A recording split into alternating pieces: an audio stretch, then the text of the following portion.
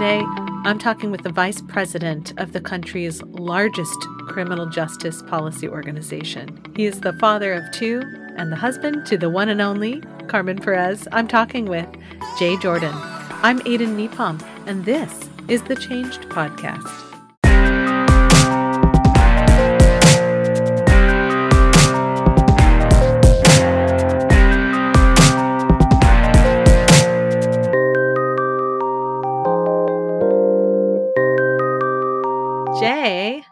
Welcome to the Changed Podcast. Hey, Aden, how are you? I'm good. I'm really excited to have this conversation with you. Thank you for being here today. Thank you for having me. You know, I would love to take for granted that everybody knows what you do and that everybody knows what the largest criminal justice organization in this country is. But I think that we both know that that's probably not true. Would which is a sad state of our real reality. Would you mind just briefly telling people a little bit about the important work that you do? Yeah, sure. So um, I work for an organization called Alliance for Safety and Justice. It's a it's the, the name speaks for itself, right? Um, we were founded in 2015, um, but prior to that, um, our flagship uh, portion of our organization, Californians for Safety and Justice, which I was the executive director of until March, um, was founded in 2012. And it was in response to prison overcrowding. Um, in California, one person was dying every week from a preventable medical condition um, uh, due to just too many people in prison. And so, you know, uh, the major funders in, in California did a scan to see if there was any organization that could actually help reduce the prison population. And at the time, California was going through a Supreme Court case.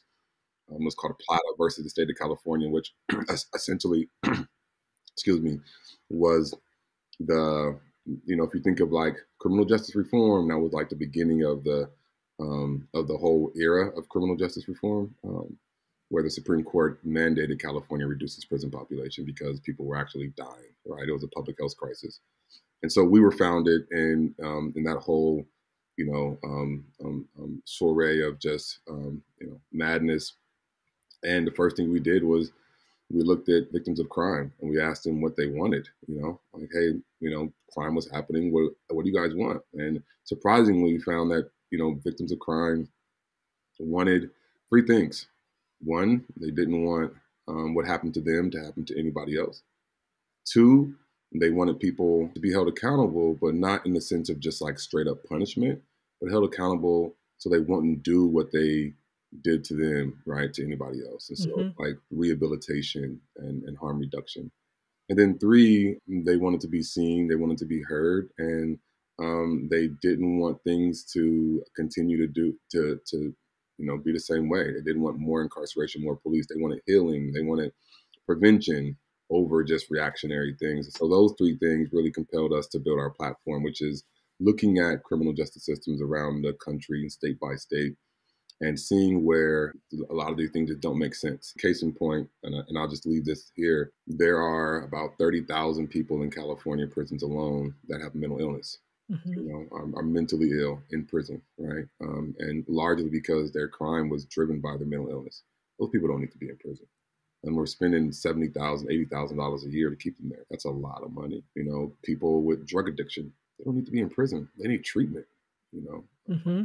people who are doing these crimes that are clearly because they are in poverty, like stealing a bike. They need a job. They don't need prison. And so what we do is look at those things and work with state legislatures and law enforcement and victims and you know system leaders and advocates and people with convictions. And you know we develop policies that safely reduce prison populations and reallocate those much needed dollars to things that matter like education and victim services and healthcare and, and job placement and home ownership. And that's what we do and we've been successful for the last five years. We've decreased prison populations across the country in multiple states by about like two to 300,000 people. We we allocated close to a billion dollars from like just wasteful spending on prisons and jails into like victim services and education. And we've been able to uh, get about like 1.5 million people the opportunity to change their records when they get out after they serve their time and go on and live their life. And so that's what, who we are, and that's the organization I work for.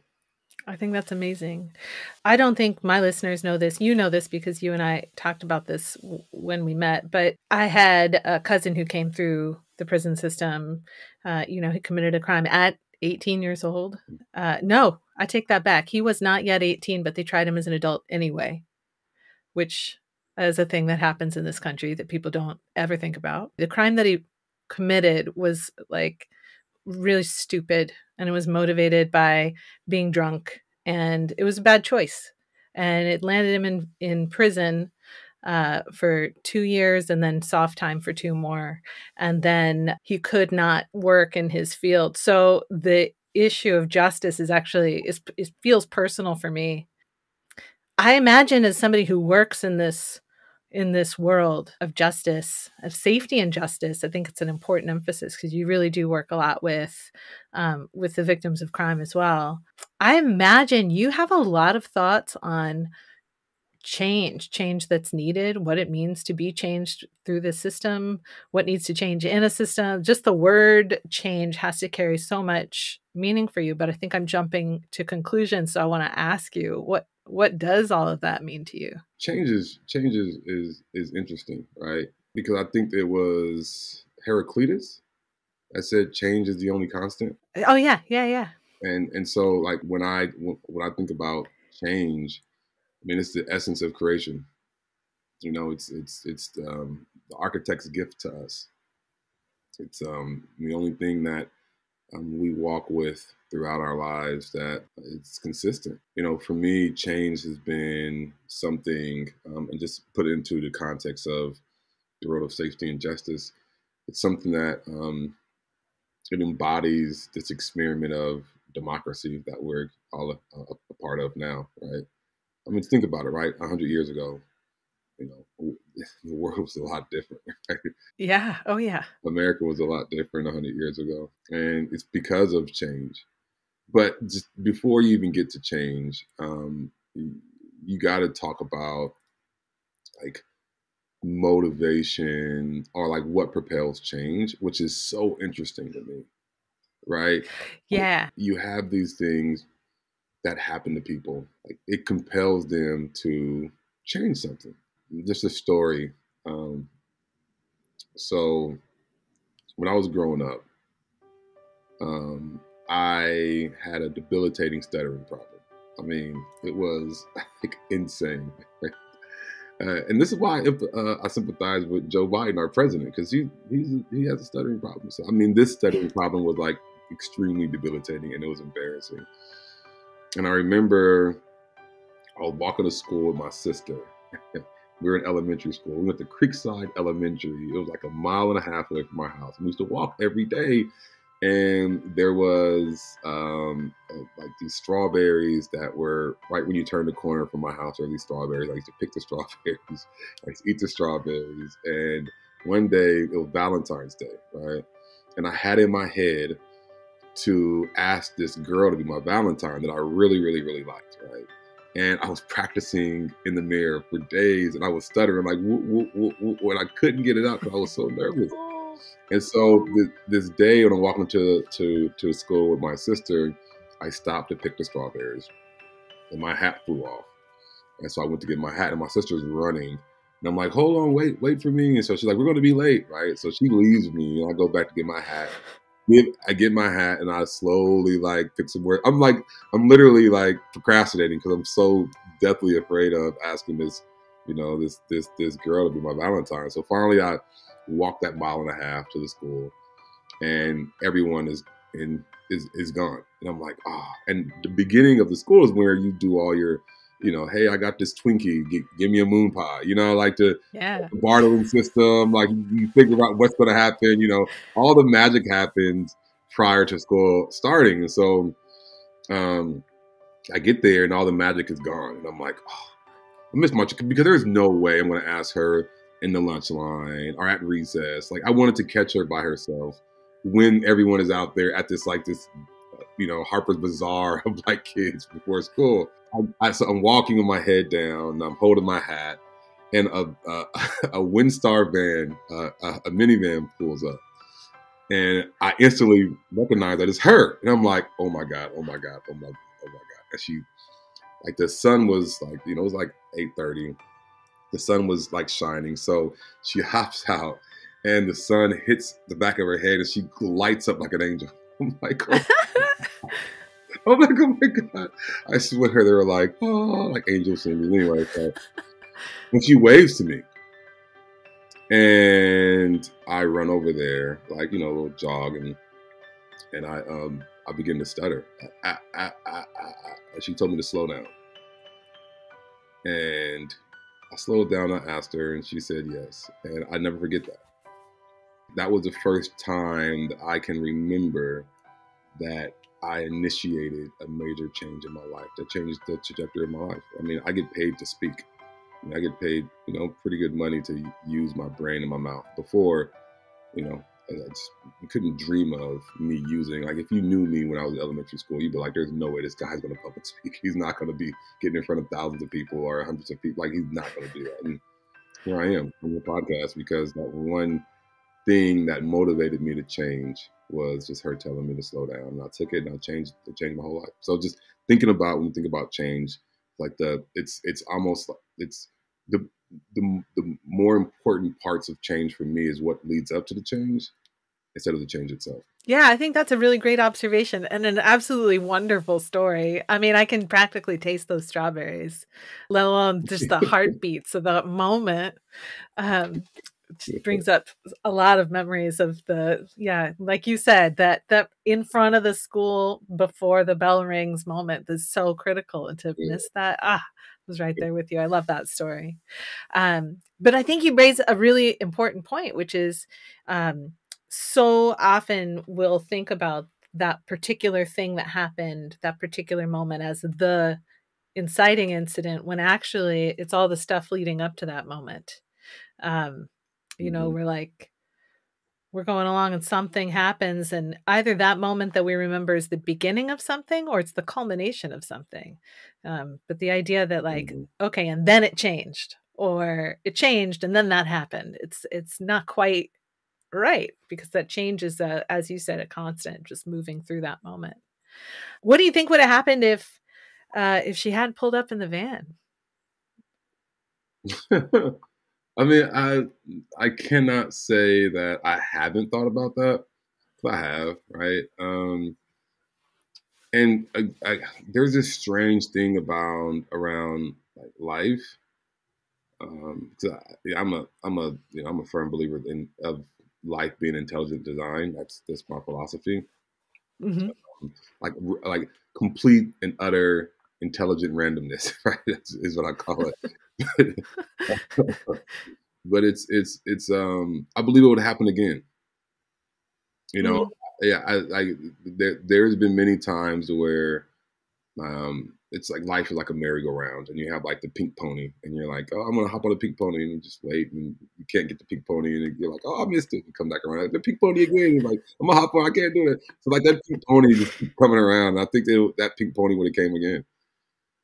Right on. I, you know, I spoke with another guest in the first season, uh, Madeleine Ryan. She's the author of a novel called A Room Called Earth. And she also was really a believer in this idea that, like, you can either take that moment or it's going to come back around. Like, life is going to keep presenting you with that opportunity. Um, and I think that's a really beautiful idea. I, I'm one of the, I'm a skeptical person. So I'm like, well, all I know is this is what happened. I like if if you were to ask me the same mm. question about any number of my stories, what would have happened if? I'm like, I'll make up an answer, but there's just no way to know. Um, my mother often says um, that you know things were destined to be a certain way or it was meant to be a certain way, and I'm always like, well, all I know is that's the way it happened. you know, but I think it's a really beautiful idea. Yeah, well, think about it, right? It's it's the moment we're in right now, right? Like it was because the pink pony came around that got us here. And it and and the pink pony in life, it may not be the pink pony that you saw the first time. Right, but it's still taking you on this revolution, uh, on on this ride called life, and like you're mm-hmm. growing and you're changing as you go, and you're thinking, "Oh, I missed that opportunity," But the fact that you are actually able to say you missed an opportunity meant that you got another opportunity to actually say that. Right. And so like I don't. I, there's like this just this thread of life that's so beautiful and like you know consistent and perfect for me. Um, mm-hmm. You know, I, I, I have a hard time believing in right and wrong, um, I, and because everything is in the moment, right? And it is our perception on how we view things that create this negative or positive connotation to whatever we're going mm. through. You know, um, for me, I've been through so much in my life that could be considered just really, really, really negative. And yet mm-hmm. I'm here, right? I'm here with a great sense of humor, right? You know, like it's it's it's like that's beautiful, and that's the pink pony, right? It, it's it's yeah. It, it's it's not a linear. Life is not linear. It is, you know, zigzag and and up and down and around, and we're on this ride, and we're like trying to hold on, and we're trying to control it, and you know, the architect is like, I, I got you. Just, just, just float like a reed. You know, be like, become water. You know. I love that label, the architect. It's it calls to mind science fiction and creation and all the things all at once. I really like it. Um, do you believe in luck? Do you think that that's a thing, or do you think that your mindset is what helps you have a fortunate experience? So luck for me um, has more to do about your preparation for the moment right? And just again, I'm a I'm a I'm gonna use this analogy over and over and over because I think it's a beautiful analogy of the pink pony. But like, you know, like you just have to be ready. You know, you just have mm-hmm. to be ready, and and and preparation can mean a number of things, right? Like preparation can mean, you know, somebody says, "Hey, you know, I have this great job for you," and you know, you're like, "Well, I don't have any experience," right? But you get into the job and you realize that everything that you know like prepares you for this job, right? You just become very good at it, right? That's one level of preparation where it's like just my experiences prepare me for this moment. Other levels of preparation is like I'm preparing for when I go take this test. I'm preparing for, um, and then when luck comes in, I I believe that there is this again, I, like this this this very con, like uh, uh, you know tangled web of possibility right? And when you are going through this tangle web of possibility, luck inherently is in that, you know? Mm-hmm. So I, I, live on the 54th floor in Midtown Manhattan, right? I can see all, it's beautiful. I can see all of Midtown. It's, it's, it's great, right? And so I was, um, you know, standing up there and my very insightful and beautiful wife, by the way, uh, uh, as she as she says, you know, what other people down there see as problems, up here we see as opportunity. And I'm like, that's that, that's that's poetic, right? I was like, that's poetic, right? Yeah, and so I begin to look and for the opportunity, right? and I saw this guy arguing with the cop, the the, the traffic cop that come that because in, in, New York, like double parking is like occupational hazard, right? It's like you double park because you live in like New York, so everyone double park. It just is what is what you do. And so he double parked. The parking guy comes behind him. He could tell them 54 floors up, so I don't know what they're saying, but I'm in my head. I can hear the conversation. He's like, "Hey, look, I'm coming, you know, coming out," and he's like, "No, I'm going to write you." I'm like, "No, I'm telling you, 30 seconds, give me 30 seconds. And the traffic cop is like, no, no, I got to write you up. You're here. He's Like, no, no, no, no. So like this dialogue is going back and forth. And then I begin to look around. I listen to it. My wife, like my wife's words is ringing in my head. I'm like, where's the opportunity? Where's the opportunity, right? And if the guy would have just went like literally 100 feet, made a right, there was a parking spot right there. Right? Oh, now, wow. now is that like, is luck preparation? Is it perception?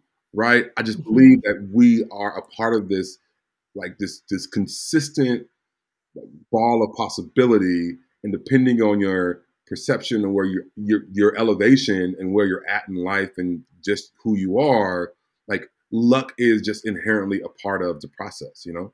I think that pointing out perception is part of the equation. It makes a ton of sense. Your your perception of the situation from your perspective on that 54th floor is mm-hmm. so different than the than the guy who's just only can see what's right in front of him because he's too close to what's going on mm-hmm. um, you know as a consultant one of the things i do is help people zoom out so they can see um, a larger context or zoom in so they can see the details they're missing, depending on where the gap is. Um, but more people could use that in their personal lives, I think.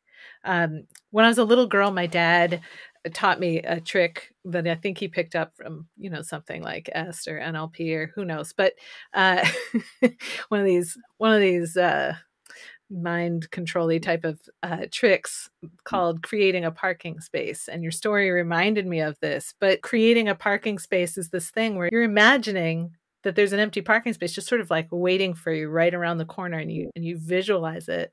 Nine times out of ten, it's there. Mm. But I think it's not because you actually made the parking spot. Though maybe it is. Maybe there's a little bit of magic in the universe and you tap into it. I don't know. But I my explanation for it is more that you're not worried about is there a parking spot right here you're looking ahead and when you come around that corner you're you've got that expanded view for i'm looking for that parking spot so that when it shows up, you're like, see, I knew there'd be a parking spot. And it just kind of reassures you. And if there's not one, you're like, ah, it must be around the next corner then. Um, as opposed to like, oh, all hope is lost. I visioned it and it's not there. And you know, it's like, so I think I do think that there's this like taking that expanded view. And I think that applies as well to interpreting the the experiences of our lives, the changes that we go through, that taking that expanded view, being able to look back at the playground, so to speak, and being like, that started something. Yeah. That's neat. Um, do you want to pause this philosophical conversation and play a game? Yeah, let's do it. Okay, so here's the game. It's called Aden asks you a bunch of questions and then you answer them as quickly as you can. That's a very long title, but let's go. And the first question is cake or pie? Pie. And then again, as quickly as possible. Why? Pie like pizza and sweets, so you can get both in the same, you know? oh, best answer. If you had to pick one favorite outfit for the rest of your life, or one brand new outfit every day, but you never get to wear the same outfit twice, which do you pick? Brand new outfit. Why? Why? Oh, um, because you know, you could be have similar outfits if you liked it. If you like it. Oh, oh, I I like that. I like that. It, you know, it reminds me of what somebody said once. It was like, if you don't like the rules of the game, maybe you need to write some new rules. Uh, I like it because it's like, yeah, I pick the one where I get variety, but also I'm gonna some of that variety's got to include something similar to this thing. I like I like that. All right. Um, I when it comes to furniture arrangement, I think you just moved, you, you, were telling me that you were in the middle of a move, so you've now completed that move. I think, um, so this will be fresh on your mind. When it comes to furniture arrangement, is it like that's the place that furniture is going to live for the rest of its life until it's disintegrated or you've died or moved, or is it more like that furniture is just where it is for now, and you're probably going to rearrange it a bunch of times? I'm going to rearrange it because change is constant, right? yeah. You see what I did there? I like that. Yeah. Read any good books lately? Yeah, I'm reading one now. What's uh is it a book you would recommend? Um yeah, it's it's uh it's called um Rules for Radicals by Saul Alinsky. It's essentially like a, you know, uh liberal's guide to activism. Awesome.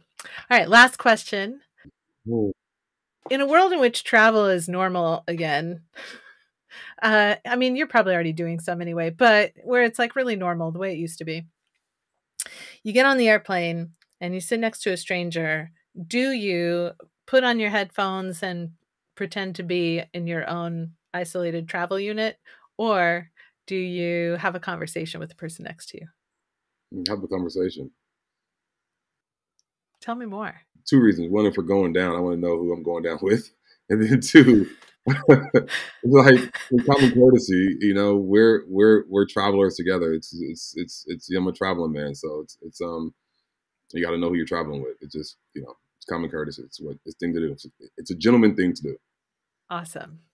Thank you for playing. Aden asks you a bunch of questions and you answer as quickly as possible. Uh, that that's the game. Thoughts, reactions, sarcastic remarks? No, I, I I I love it. It it, it uh um you know it, it it was questions that were actually relevant to me, which was kind of you know was that was that luck or was that just like infinite possibility? you know, I suspect those questions are relevant to everybody. Right. Yeah. I suspect. I you know, maybe the travel one's not, but um but everything else, you know, cake or pie, that's like that's a fundamental decision people have to make for themselves in this life. Yeah. To the point where some people were like, "You know what? I think instead of having to choose, I'm going to put my pie right inside my cake." and I'm gonna have a pie cake in or whatever it's called. Yeah, so yeah. That could be a wedge issue, man. You know, you have some very passionate, you know, and spirited debates about pie or cake. So I, you know, I'm a pie guy all the way through and through. It's you know, there's a lot of variety to be had there. It's really, I mean, the, the cake people are gonna also talk about all the variety you can have with the cake, with the fillings, the frostings, the toppings. So you can you can, you can put everything you you have on a cake in a pie most of the stuff, right? But you can't have a pumpkin cake. You can have a sweet potato cake. You just can't. You can't. You know? But you can't. You can though. You can pumpkin cake, sweet potato cake. Yeah. Oh yeah. Pizza cake. A pumpkin. You can't have a pizza cake. That is where I was like, that's the best answer I've ever heard because you pulled that savory into the conversation. Mm-hmm. All right, that's enough pie and cake talk, probably. Uh, I mean, I don't know. Maybe it's never enough pie and cake talk, but I think um, now I'd love to come back to uh, to more philosophy talk with you because I'm really I'm, I'm really struck by some of your thoughts here. Um, I'm wondering. I'm wondering if we could zoom out, you know, taking that broader perspective on this idea of the, that constant of change. We see how different America is from how it was. If you had to guess where we're headed as a country, which is kind of an impossible thing to do, but not exactly. We have a lot of history to predict where we might go. Where do you think we mm. might be headed? Oh, so I'm gonna take like the literal sense of where we're headed. Right. So I'll start with I, I see. Well, we're split up. Uh, this country's split up. You know, two main kind of tracks here, right? Um, yeah. You have uh, like our political system and then our economic system, and that's how countries are made: political and economics, right? Mm-hmm. Like our governance and commerce, depending on how, how you're looking at it, right? So like how people are treat each other, right, and and go about their daily lives, and then you know the the the like the, the you know the barter system. So ours is democracy and capitalism you know um, and just just putting that to a side um, just wanted to kind of clarify like this is how i view where we're headed as a country um, in those two pillars but just like population wise mm-hmm. and there are more um, foreign born or our, first generation foreign born or and immigrant babies than there are like straight up American babies being born. So, you know, in like 30 years, you know, Americans will look like a mix of me and you, right? Like most Americans will look like my son, which is like more brown skin, fair, like, and you're like, well, are you, I, what are you? You know, and so like, like that's what we're going like, and and and that was a great experiment at the beginning, you take out of racism and slavery and all that stuff, like the idea of an immigrant America, right? You, you know, mm-hmm. everyone here outside of indigenous folks are essentially immigrants. We're on we're on indigenous land, and so you know that's the idea of it. It's like come here and and and help us build this this magnificent, um, democratized, capitalistic society where you can be and do anything you want to do in the confines of the of the law. And so, the population wise, it's going to look very different. It's not going to be white dominant anymore. Um, you're going to have, if you look at the the, the domestic um, like uh, micro migrations, right? Mm-hmm. You are beginning to see people move from metropolitan areas into more rural areas. You're seeing people move from the coast, like who traditionally were immigrant in in more um, um, inward, and then people who are like inward moving to the coast, younger. Um, you're seeing um, like baby boomers, folks who were raised in the 50s and 60s, are born in like the 40s, 50s, and 60s, that are really family um, oriented and like mom and dad, and you know, go to college and buy a house. Like you're seeing those folks kind of die off, um, or literally mm-hmm. like, die off, and then the millennials and you know are, are, are beginning to have a different way of viewing things, right?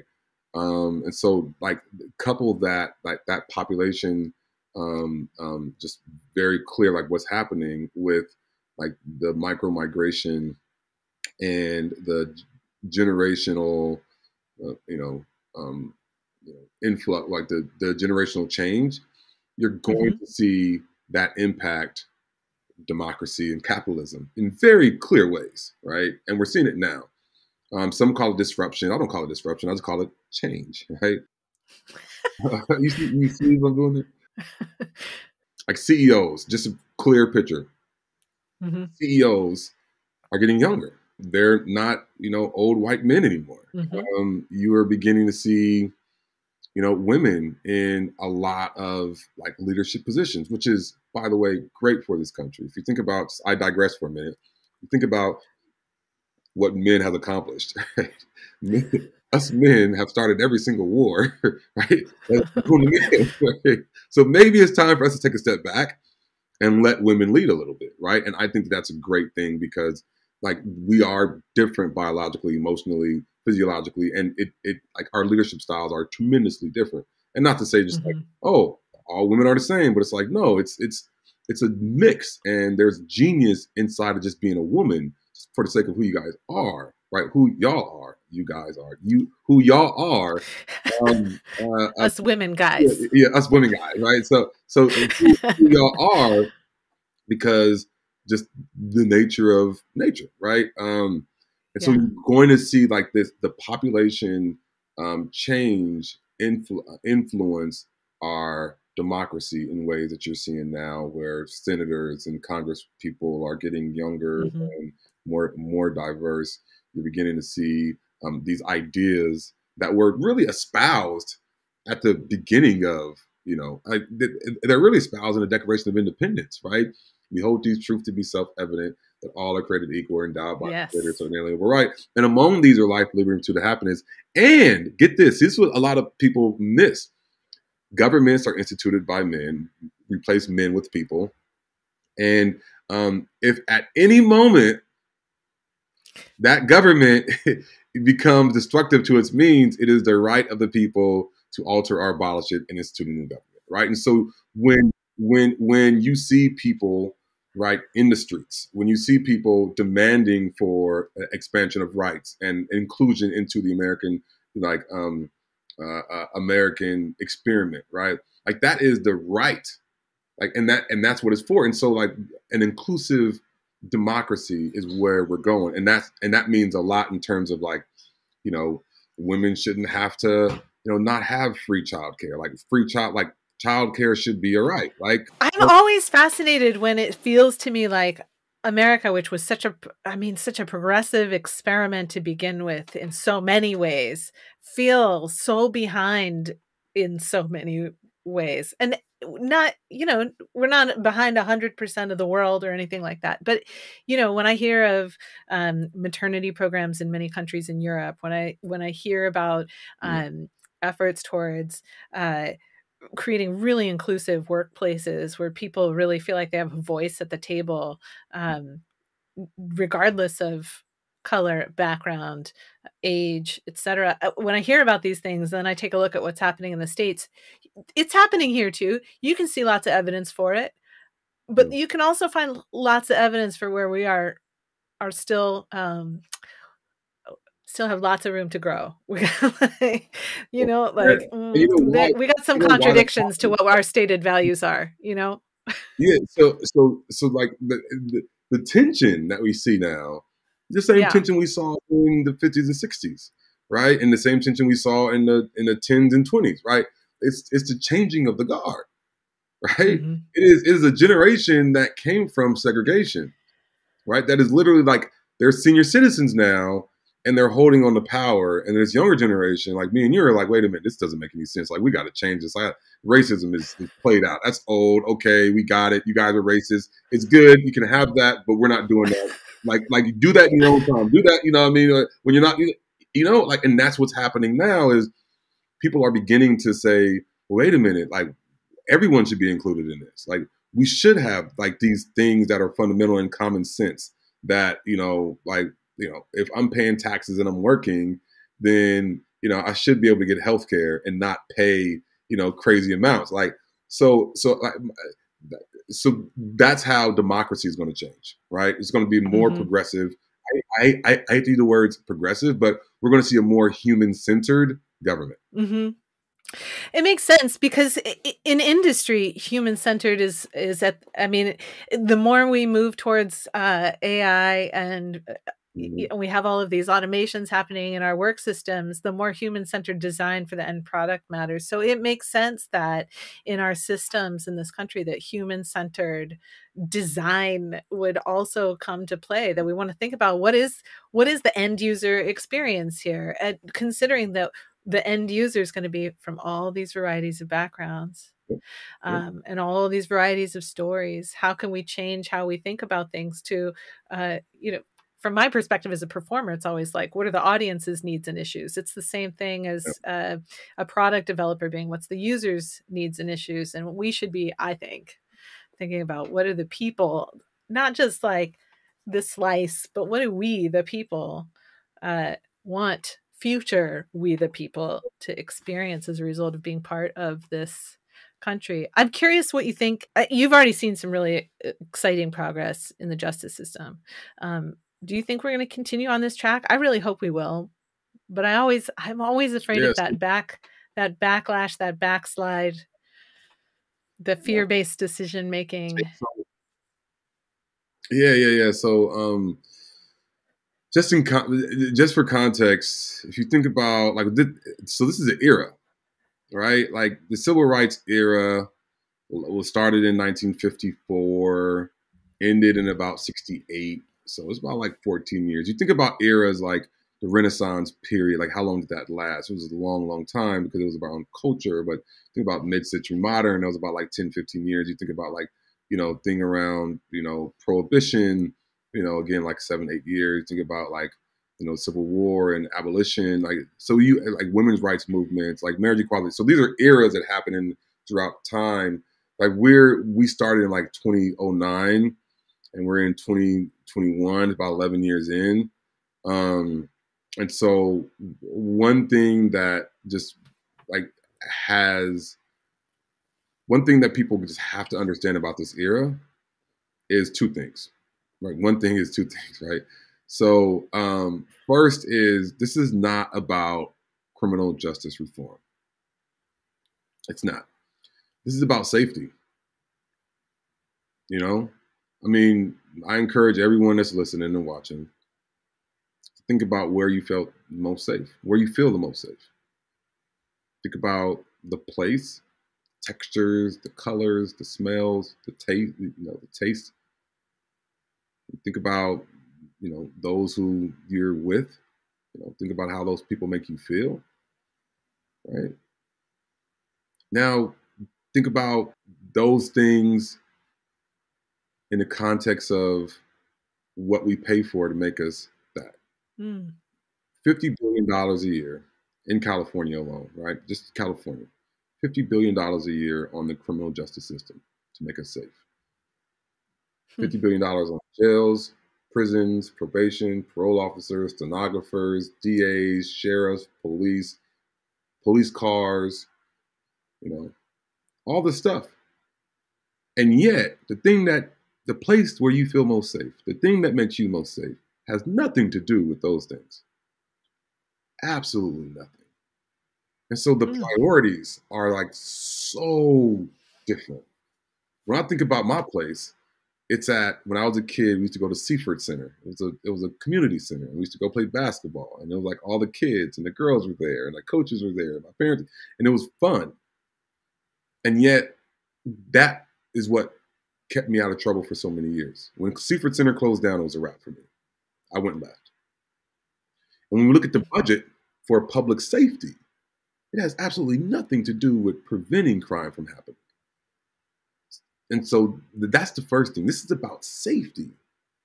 And when we talk about safety as a shared value, no matter where you are at in this country, life, liberty, and the pursuit of happiness, the cornerstone of all three of those things is safety. If you are not safe, you cannot lead your life, you cannot have liberty, and you sure as hell cannot pursue happiness. And so, what this era is about is about safety. When people get into the streets and say, I do not feel safe around police, that is a value. I mean, that is a valid concern because if you turn on, I mean, if you Google black people in America, you are going to see police with dogs. Like, it's so this is about safety, and we're in an era to where people are making it a wedge issue about, you know, crime and um, punishment, and it's not. Mm-hmm. If you ask victims what they want, if you ask the public, and you ask them a fundamental question, would you rather spend fifty billion dollars preventing crime from ever happening, or fifty billion dollars on waiting for crime to happen, and then dealing with it?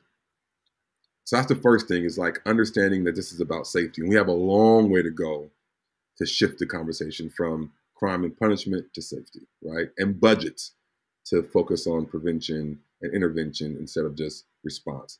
The second thing is this, which attaches to the first point. It's extremely important for people to understand. Our entire system that we as taxpayers pay for only is activated after a crime happens. After I just think that's so bonkers. The number of people that you talk to that were like, we called the police and they told me they could literally do nothing is so astounding. Yep. And I, am not, I mean, you can take race out of the conversation and yep. still be appalled. Yep. You know what I'm saying? Like, 100%.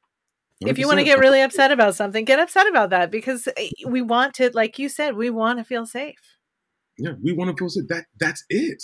That's it you know. And so I, I say something super controversial that I always get in trouble for for my my people on the left, and then the people on the right are like, I don't know, but like I believe that January sixth and summer 2020, the feeling like and the concern at its core that people had was government interaction with them and one was through the lens of black oppression, and the other one was through the mm. lens of white privilege.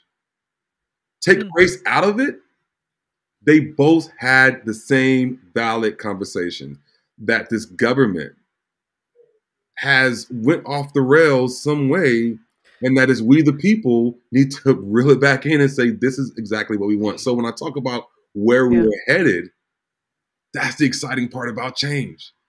I always say when uh, when fear becomes part of the equation, logic flies out the window. So to your point of pursuing happiness and pursuing um, life and liberty, if you're afraid you can't do those things, and I think you can look at you can look at summer 2020 and you can look at January 6th and and those are clearly in my mind both fear driven movements. You know, one group afraid of losing all the things they think um, matters, one group afraid of losing their lives and loved ones. Um, working backwards in time in case that wasn't super obvious uh, you know i think that you have to give people a chance to feel safe in this world and i I love the work that you're doing so deeply. I'm also hyper aware that like time is flying, it's fleeting, it is flying from us. I mean, I so because I'm just swept up in the conversation. I think this has been pretty remarkable. So rather than rather than take your time for granted, I'll just ask you this. Um, well, for, I mean, first, I just want to say I'm grateful for your thoughts and I am grateful for your stories. Your stories have been magical today. Um, what would you like people to leave knowing, feeling, thinking about in regards to change, in, in regards to safety and justice, in regards to um, picking strawberries, you name it? What do you want people to leave with today?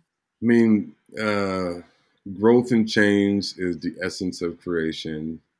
And for any man, woman, or child to try to replicate that process is simply unnatural. You know, embrace it, be it, love it, know it, and know that you are powerful beyond measure. Um, in the words of Mary Edelman Wright, it is it is our power that we're afraid of. Um, it is it is it is the fact that, in spite all that's going around us, you are the one that you know is going to create history and you're making history. And so, like, I I I, I want people to understand that, you know, whatever you're going through in life, no matter what it is, and it can it can it, it, it, it can seem insurmountable. It can seem like you will never get past this moment. One thing that is the only constant is change and growth, and you, and that will um, pass. And that pink pony is going to come back around again. You just got to be ready to hop on. Thank you, Jay. This has been fantastic. Thank you for having me.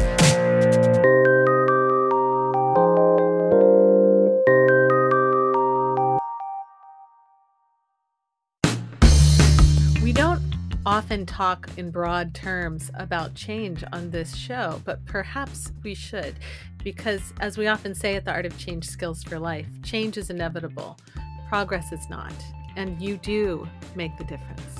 If we want to change the world for the better, not the bitter, then it really is time we start thinking about not just what we're afraid of losing or really what we're afraid of in general, but instead about what we want future generations to experience as the result of what we do today. Naturally, I'll have links to follow up on in the show notes for this episode if you're interested in this kind of big picture thinking or in learning the skills necessary to have big picture conversations. Because as Jay pointed out, we may be a nation divided on how we get there. But when it comes to a value like feeling safe, we all want to get there. As we often do discuss on this podcast, the simplest place to start with big changes is right here with the person in the mirror. You want to live in a world that's inclusive? Behave in a way that includes people. You want people to listen to you and hear you when you talk? Then you need to learn how to hear opposing points of view. And develop that skill of zooming in on the details and zooming out on the opportunities, because then you'll know when the pink pony on the carousel comes around again. I want to thank Jay, of course, for his thoughts and stories today. Special thanks go to my family for their love, support, and patience. To all of you, of course, for listening. And to all of the amazing Changed Podcast Patreon page members who I couldn't do this without. The Art of Change Skills for Life and Patreon member producer, Dr. Rick Kirschner. I'm Aden Nepom, and I wish you the kind of experiences in life you're excited to tell stories about.